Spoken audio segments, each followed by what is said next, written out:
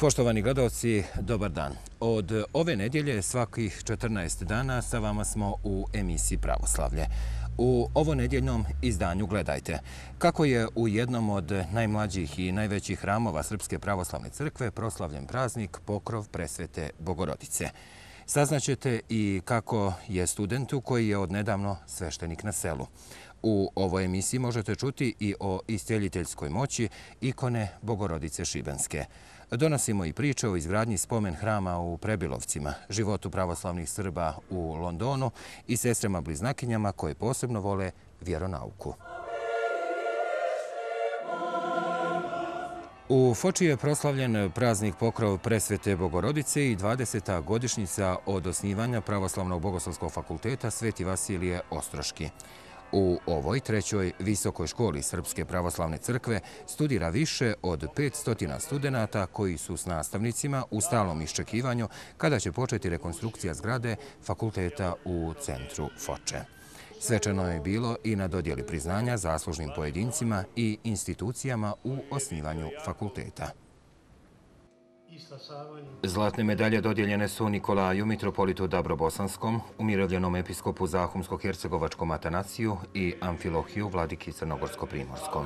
Priznanje je dobio i prvi rektor univerziteta u Istočnom Sarajevu, Vojislav Maksimović, kao i prvi predsjednik Narodne skupštine Republike Srpske, Momčilo Krajišnik. Među odlikovanima i jedan od prvih profesora, Dimitrije Kalezić. U pitanju punoljestvo, to da se razumijemo, i puna svijest i odgovornost. I to znači sposobnost za korak i naprijed. Danas sam srećan što sam jedan od učesnika, iako e, moram biti pošten, e, mnogo je ljudi koji su učestvovali u tome, koji su pomogli i iz vlasti i van vlasti i možemo svi biti ponosni na, na ovo što smo stvorili. Na ovom fakultetu na tri studijska programa studira 535 studenta. Poboljšanje nastave i saradnja sa fakultetima sestrinskih crkava jedan je od prioriteta, ali i stvaranje sobstvenog kadra. Mi smo uspjeli, naša crkva i naša škola i naša e, Republika Srpska, uspjeli smo da iznjedrimo sobstveni kadar i da sad to da još bolje rezultate nego što je bilo do sada. Dobre rezultate daje i saradnja sa Sibijskim bogoslovskim fakultetom, najstarijom visokom školom u Rumuniji. Sretni smo da možemo zajedno sa Fočanskim fakultetom da unapređujemo nastavno-naučni rad. Korak naprijed biće i iščekivano opremanje zgrade fakulteta u centru Foče. Na pokrov presvete Bogorodice rečeno je da bi obnova trebalo uskoro da počne. Prazniča radost u Foči upotpunjena je i svetom arhijerijskom liturgijom u Svetosavskom hramu, čija izgradnja je počela prije osam godina. To otprilike najbolje pokazuje za koliko smo zapravo dug i naporan put prošli za ovih 20 godina, ali e, u isto vrijeme baš ovaj hram ovdje pokazuje u ovom stanju gdje možemo da služimo, da se već okupljamo, ali treba još mnogo toga se uradi, pa to je neka metafora da zapravo i treba još mnogo toga da uradimo. Mnogo se radujemo ovaj, najavljenom e, smještanju Bogoslovskog fakulteta konačno u, u, u adekvatne prostorije. Želim da potvrdim da, da imamo obećanje austrijske firme Bisvam Bilfinger da će doći u Banja Luku 24. oktobra ove godine da ćemo potpisati finalni ugovor i da ćemo na taj način stvoriti pretpostavke da sva sredstva, 10 miliona evra kreditnih sredstava Austrije, budu na raspolaganju nama. Drugim riječima, da od tih sredstava 2,4 miliona evra idu ovde upravo u Foču za završetak studentskog doma i završetak pravoslavno-bogoslovskog fakulteta.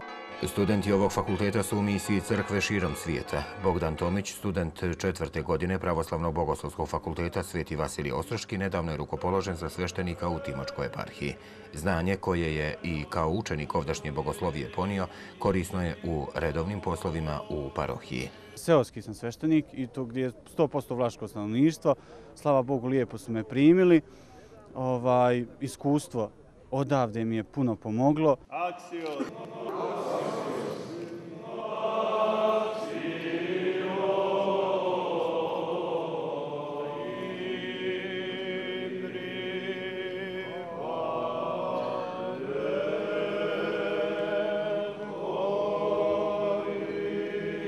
Praznik pokrova presvete Bogorodice pamtiće i Mladen Čalija iz Nevesinja koji je u Foči 2006. godine završio bogosloviju Svetog Petra Dabrobosanskog. Kada je krenuo iz Foče na studije u Beograd, Svetosavski hram se gradio, a danas je pod njegovim svodovima rukopoložen da služi crkvi i narodu. Nešto je zaista posebno i ne znam, ne znam da opišem osjećaj. Zaista nešto je prepun sam utisaka i emocija. Tako da ako poredimo taj period od nekih e, 6-7 godina koliko je prošlo dakle, od prvoga našeg saborovanja ovde, zaista svako može da vidi i da primijeti da je hram dostigao jedan zavidan nivo, ali naravno još uvijek nedovršen i još uvijek u njega treba puno ulagati. U velikoj sali Svetosavskog hrama za čije opremanje je potrebno uložiti još mnogo truda, održano je i predavanje na kojem su osim vladike Grigorija govorili poznati teolozi o temi obrazovanja mladih u hrišćanskom životu. Prije nešto više od e, godinu dana u Prebilovcima kod e, Čapljine počela izgradnja spomen hrama Vaskrsenja Hristovog, posvećenog Srbima stradalim u Ustaškom pokolju 1941. godine. Više od 4000 posmrtnih ostataka bilo je sahranjeno u spomen Kostornicu 1991. godine.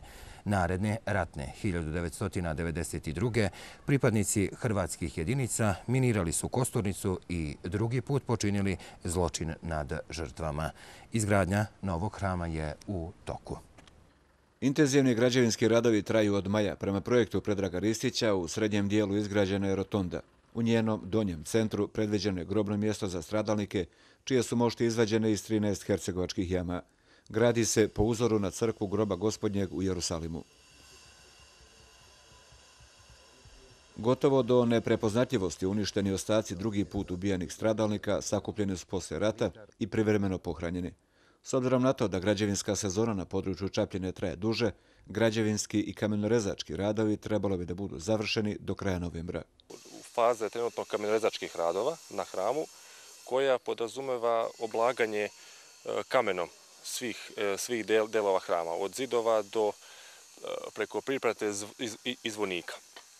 To su, e, to su kamenorezački radovi i oni obuhvataju, obuhvataju posljednju fazu građevinskih radova, pošto su građevinski radovi kompletirani i ovo je, ovo je znači, ovakav izgled hrama je gotov.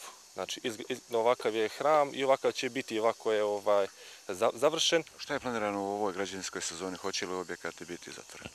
Pa u ovoj građevinskoj sezoni mi nameravamo da u narednih mjesec i po do dva, koliko je ostalo do završetka ovih kamerodačkih radova, da se pristupi zatvaranju objekta, zatvaranju hrama odnosno to podrazumeva nabavku, nabavku otvora koji se trebaju ugraditi tokom iduće nedelje. E, Tako da, da bi se pre, pre ovih e, kiša i pre, i pre ovih snegova zatvorio hram i tako obezbedio od prokišnjavanja i izolovao od vremenskih neprilika. Angažovani su kamenoresti iz Nevesinja koji su radili na sličnim objektima. Već tri mjeseca smo na ovome objektu i fino izgleda, evo kao što vidite. Koliko treba strpljenja? Pa, Boga mi dosta. Za kamen treba dosta. Ali pomalo, pomalo ide kamen po kamen, što kažu i napravi se. Što za vas ovo znači izgradnja ove crkve? Pa veliko znači. Veliko znači. To je ipak jedno oduševljenje za ovo mjesto. Za ovaj narod. Za vas kao radnika? Isto, isto oduševljenje. Oduševljenje je jako divan objekat. Predstavio. Koliko je komplikovano raditi s obzirom da se radi kamenom? Jes malo komplikovano, ali sve se mora kad se hoće. Sve se mora kad se hoće uraditi i sve se mora postići.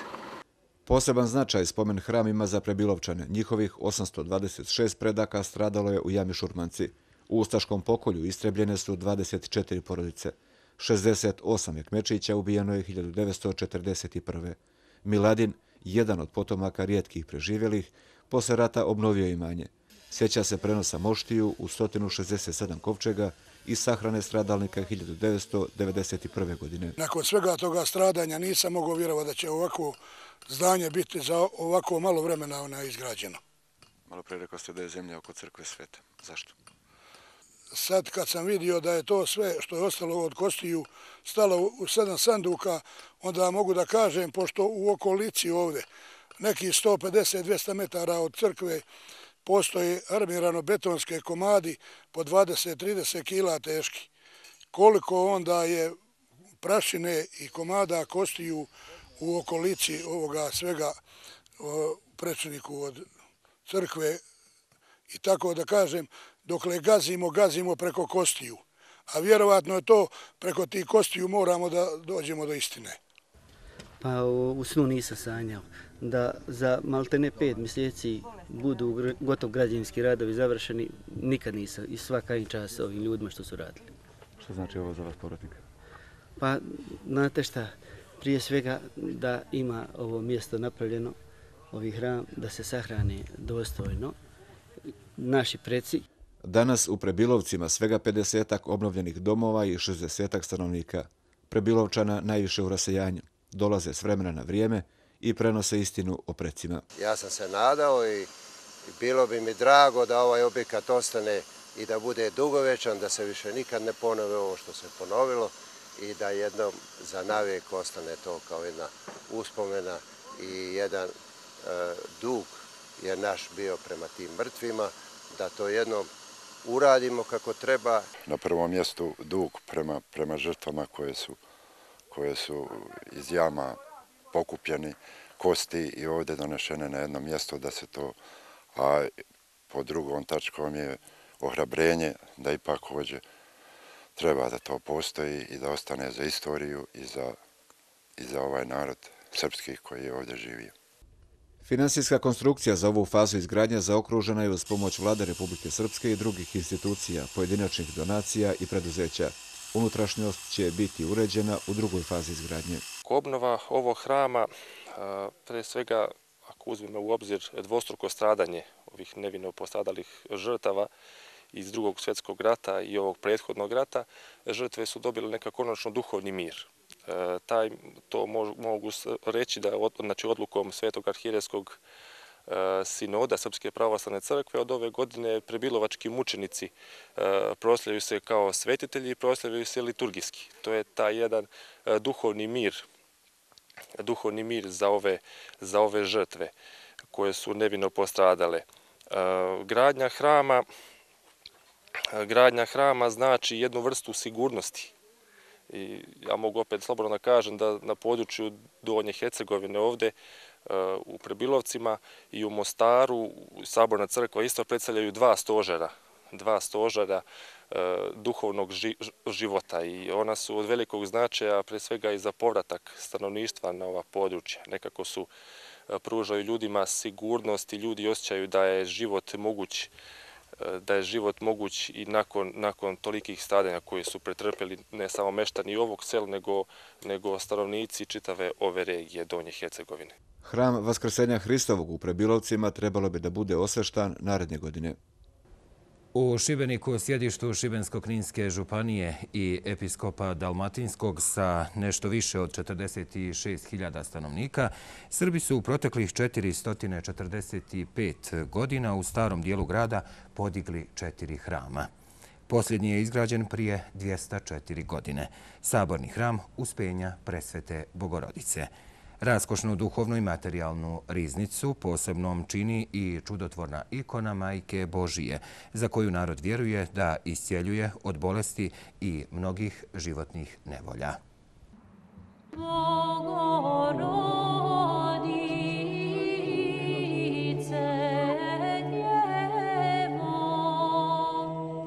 Saborni hram uspenja presvete Bogorodice podignut je u vrijeme francuske uprave Dalmacijom. On je još jedan od svjedoka da su Srbi u to vrijeme bili jedan od pokretača ne samo duhovnog, nego i kulturnog, prosvjetnog i privrednog razvoja Šibenika i cijele Dalmacije. Ovo je stari dio grada koji je tada imao te nekakve znamenitosti, značaj i tako dalje. Da su naši ljudi prepoznali važnost toga da u samom centru grada imaju svoju jednu svetinju koja bi služila za potrebe našeg naroda. U okviru sabornog hrama se nalazi jedan kompleks e, ostalih zgrada koje su stambeno-poslovne namjene i tu su nekada različite, različite vremena i za različite potrebe bili korišteni ti prostori, pa između ostalog u jednom dijelu tog prostora, pored Saborne crkve, bila je i Srpska osnovna škola u kojoj su učile poznate ličnosti U ovom hramu godinama iscijeljenje i duhovnu utjehu pronalaze mnogi vjernici pred ikonom Majke Božije, koju su bogato i darivali. O njezinoj čudotvornosti se nije govorilo u javnosti. Sa našim boravkom u Šibeniku donosimo i ovo svjedočenje o pravoj vjeri i smjernice za sve kojima je potrebno duhovno okrepljenje.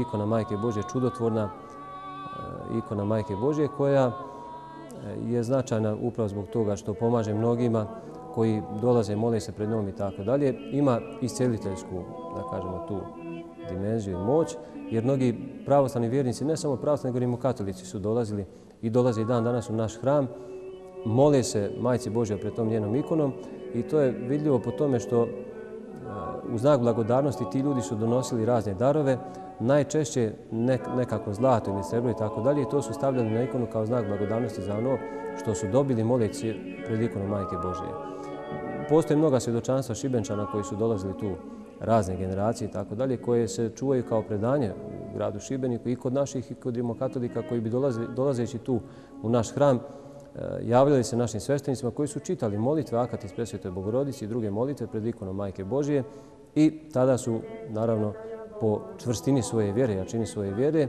i molitve koja je čitana, oni su dobijali ono što su tražili. Iz tog razloga je ta ikona e, čudotvorna i pored toga vidljiva je na ikoni suza, zato je zovemo plačuća ili plačuća ikona Majke Božije. Hram odiše ljepotom svetosti i moćima vladičice čudotvorne.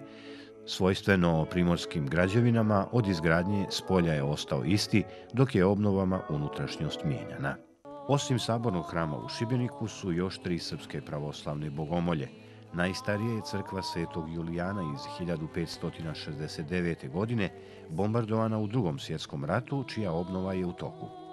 Hram posvećen časnom krstu iz 1600. godine i crkva Svetog Spasa iz 1778. godine, u kojem su mošti vladike Nikodima Milaša.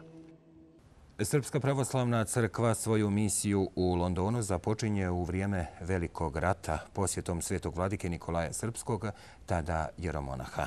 Pamtimo da je sveti vladika Nikolaj I, ne anglikanac, koji je propovjedao u katedrali svetog Pavla kako bi mobilisao cjelokupnu javnost za pravednu bitku srpskog naroda. Srbi danas u ovom gradu od 13 miliona stanovnika imaju svoju crkvu, u kojoj je osim duhovnog uspješan i kulturno-prosvjetni i dobrotvorni rad. Prva parohija Srpske pravoslavne crkve u Londonu osnovana je 1942. godine, a bogosluženja su se odvijala u preuređenoj kapeli za članove Jugoslovenske kraljevske porodice i vlade u izbjeglištvu. Od 1944. godine u London dolazi kao bjegunac sveštenik Miloje Nikolić, koji sve do 1952. godine malobrojne vjernike okuplja u jednom od preuređenih bogoslužbenih mjesta.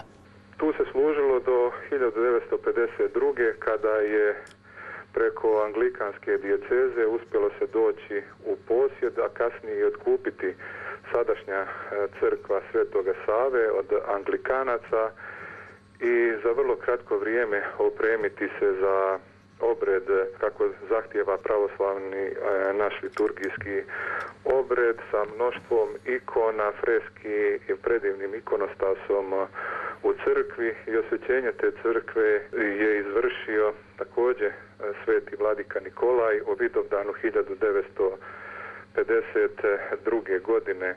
Prisjetimo se zavjeta svetog vladike Nikolaja Srpskog izgovorenog u Londonu prije 62 godine. Srpska pravoslavna crkva nije ni moja ni tvoja, nego naša. Naša zajednička svetinja, majka, utješiteljka, starateljka, pomiriteljka, iscijeliteljka, nadahniteljka, ona je sveobuhvatljiva.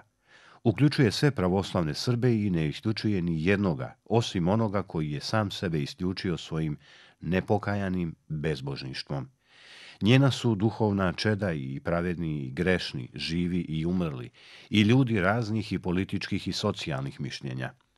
Ona prima sve pod svoj krov, ali ona ne može da stane pod krov ni jedne političke partije, jer su partije privremene, a crkva je vječna. Koje razuma neće ni tražiti da se sva crkva Hristova i svenarodna palata stjesni pod šator jedne partije, Kao pravoslavna ona negoduje protiv onih koji su nemarni i labavi u vjeri, a kako srpska negoduje protiv onih koji se stide imena srpskoga. Hram Svetog Save u centralnom dijelu Londona je trobrodna bazilika koju je Anglikanska crkva izgradila 1903. godine. Od 1947. godine u London dolazi oko 10.000 srpskih ratnih zarobljenika iz njemačkih logora, kada se i uvećava broj vjernika. U godinama mira osnivaju porodice za koje se može reći da su neimari pravoslavlja na britanskom poluostrvu.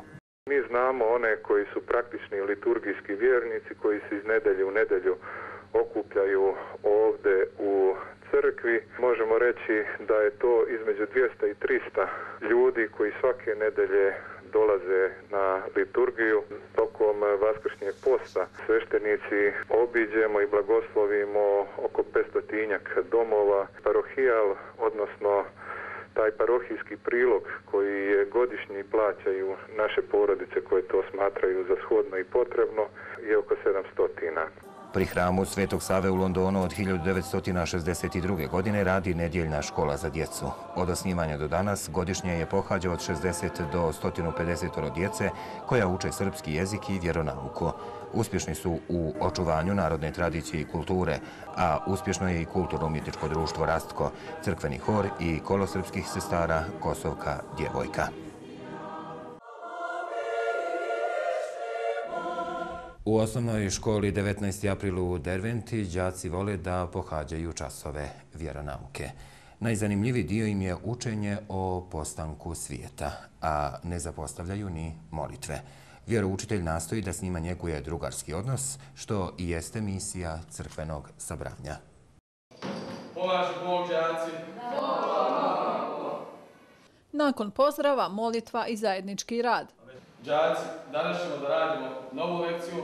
Na časovima vjeronauke ne primjenjuju se klasične nastavne metode. Vjeroučitelj drugarski nastoji da na što zanimljiviji način učenicima objasni šta je sve u nastavnom štivu. Inače, kad govorimo o pitanjima vjere, o pitanjima Boga, o trojičnosti Božjoj, o tim teškim temama, to je za džake mnogo nesvatljivo. Posebno za džake u nižem uzrastu i onda je potrebno mnogo prilagođavanja kako bi oni to shvatili, spoznali na način koji je njima prihvatljiv pa tako moramo da, da crtamo, šaramo. To su uglavnom nekakve prvi početni koraci u tom svemu kad džaci to radi. Kroz to su prošli i ovi džaci koji su sada osmi razred i ovi koji tek dolaze. Osnovcima u višim razredima i ozbiljnije teme. Prevazišli su crtanje i bojenje, uče o postanku svijeta. Molitve su ono što će ih voditi tokom cijelog života. Oduševljenje vjeronaukom i kod sestara bliznakinja Zorane i Slađane. Bogorodice Dijevo, raduj se blagodatna Marijo, Gospod je s tobom, blagoslovena si ti među ženama, blagosloven je plod u tebe tvoj, jer si ti rodila spasitelja duša našeg. Moj i sina i svijetog Duha. Na časovima vjeronauke učimo uh, kako je, prvo što smo krenuli učiti, kako je Bog stvarao uh, svijet, kako je stvario planetu Zemlju. Uh, onda učimo o, o hrišćanstvu, gdje i kako je nastala hrišćanska vjera. Vjeronauka je jedna od staza kojom se korača ka ispunjenju misije naše svete crkve. Uspjesi su vidljivi što potvrđuje i činjenica da džaci ovoj nastavi daju najvišu ocjenu. Prvo smo učili o postanku svijeta, kako je Bog stvarao za šest dana stvarao materijalni svijet. Prvo je stvorio anđele i nebo ostalo za ostali dane, stvorio materijalni svijet. Kako je zanimljivo na časovima vjeronauka? Meni je vrlo zanimljivo. Prije svega kad imaju osjećaj za crkvu i kad im je to nešto ono u čemu odrastaju, kad imaju osjećaj da, da pripadaju tome nečemu, jer crkva nije bilo kakva neka organizacija koju pripadamo po potrebi. Mi crkvom živimo, živimo Hristovim životom i to pokušavamo, trudimo se da prinesemo na ostale džake. E sada, vrijeme će pokazati koliko smo to uspjeli. Čas počinju i završavaju molitvom. Blagodarimo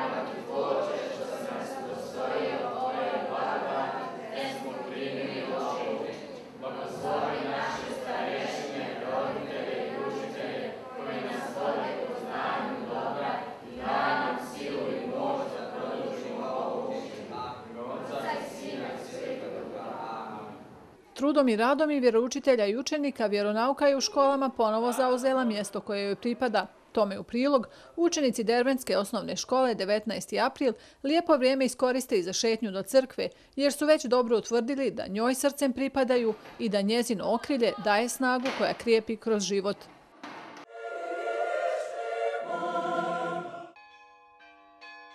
27. oktobra praznik je prepodobne majke Paraskeve, Svete Petke. Ova slavna svetiteljka srpskog porijekla rođena je u Epivatu od imućnih i pobožnih roditelja. Ovozemaljski život skončala je u 11. vijeku. Pred njenim svetim moštima mnogi su izliječeni. Mošti prepodobne majke Paraskeve nalaze se u crkvi Sveta Trijerarha u rumunskom gradu Jaši, proslavljajući iz dana u dan silu Božiju i iscijeljujući nemoćne.